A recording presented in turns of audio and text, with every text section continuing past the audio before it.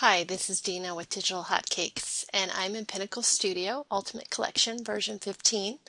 And I'm going to show you how to use our wedding album open animation from our Wedding Essentials Volume 1 in HD.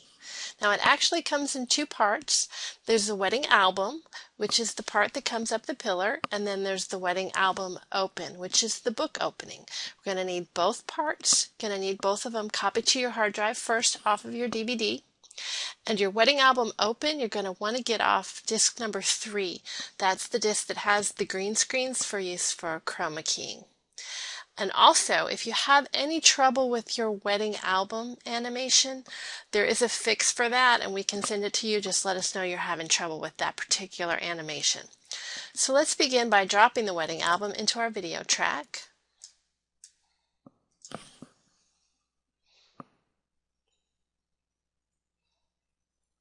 Okay, we're going to drop our wedding album open into the overlay track at the ending of this wedding album.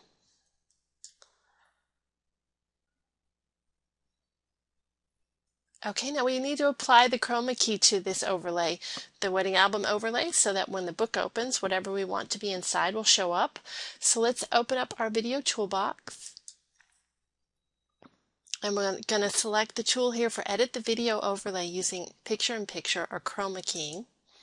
We're going to select chroma key and we're going to check the box for enable chroma keying. Okay, we're going to go ahead and shut our video toolbox.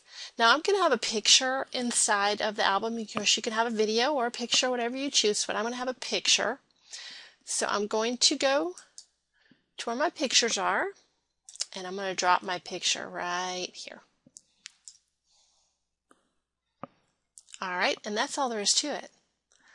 Let's see what we have.